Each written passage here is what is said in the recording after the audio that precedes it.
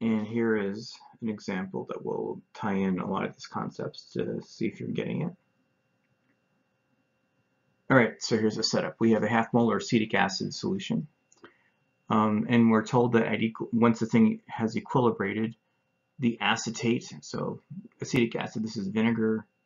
There's the formula. It is often abbreviated as HAC. This is acetate.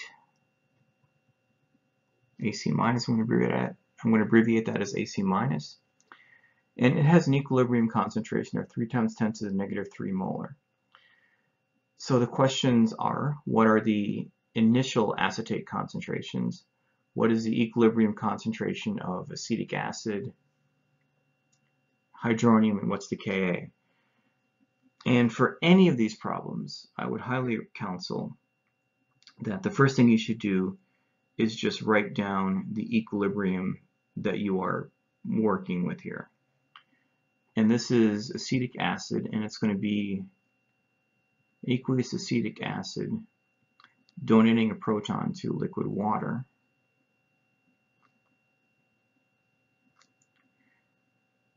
giving us hydronium, also aqueous, and the acetate ion, so the standard weak acid with water equilibrium. Now, we are told So what can we gain from here? We know that the equilibrium acetate concentration is equal to 3 times 10 to the negative 3 molar. And from the stoichiometry, that also has to equal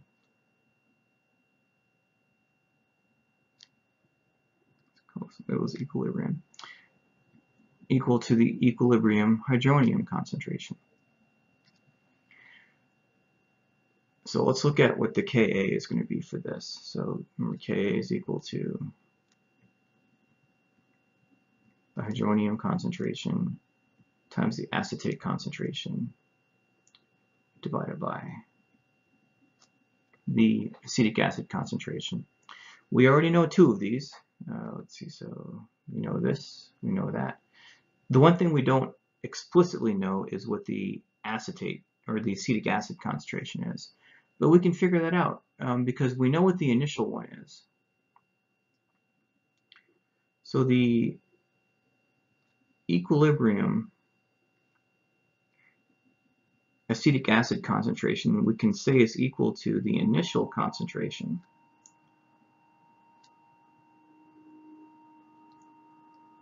Now we know it's going to lose a little bit. What's the, um, and, and how much is it going to drop by? Well, look at the stoichiometry. So for, you know, you lose one acetic acid molecule for every acetate ion that is formed. So if we know what that concentration at equilibrium is, we can figure this out, and we know that. So that we told you this was 0.50, and this is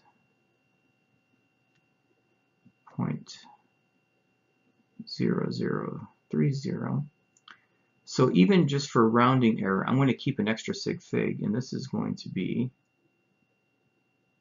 0.497. And now we know all these numbers, we just plug them into here.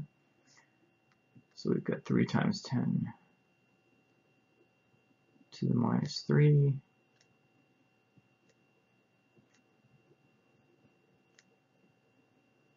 3 all over 0.497 and to 2 sig figs, which is the proper number here, this gives us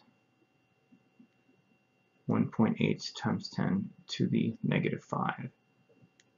And that is Ka for vinegar or acetic acid. So if you could do that on your own, you're in good shape.